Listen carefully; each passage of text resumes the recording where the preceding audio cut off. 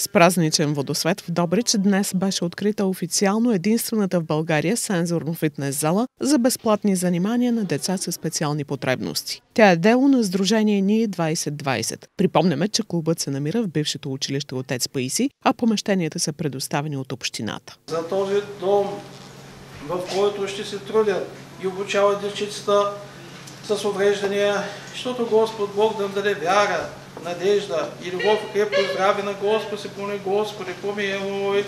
Част от спортното оборудване е по проект Ние растем, спортът ни развива, с който Сдружението спечели финансиране по програмата за граждански инициативи на Община Добрич в размер на 2900 лева. Майките също са вложили собствени средства, като за ремонта са се отзовали и дарители. Искам да пожелая на тия родители много търпение, защото отглеждането на тия деца е много трудно.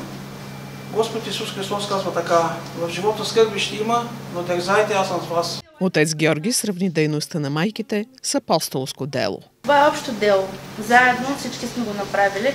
Дали аз през цялото време съм действала, съм отделяла мое лично време, да. Но ако не бяха другите момичета, ако не беше съдействието, нали, поисканото добро.